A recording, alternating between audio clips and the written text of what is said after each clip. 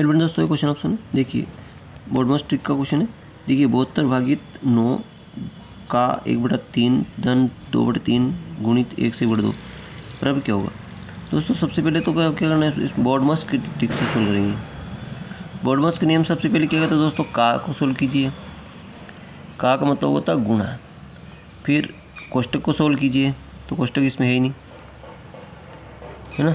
इसके बाद छोटा कोष्टक। फिर बड़ा कोष्टक फिर मजला कोष्टक फिर भाग, फिर गुणा, फिर जोड़ और फिर घटाना इस ट्रिक से होता है। तो दोस्तों, सबसे पहले का मतलब क्या होगा? गुणा। बहत्तर भागित नौ है से ये गुणा। एक बटा तीन। धन, ये है दो बटा तीन। गुणित इसको सही बटे बना लो। तो दो एकम, दो ने एक, तीन। तीन बटे दो। अब पहले क्या करेंगे? भाग करेंगे। तो नौ का नौ अट्टी बहत्तर। एक बटा तीन। धन। फिर इसको गुणा।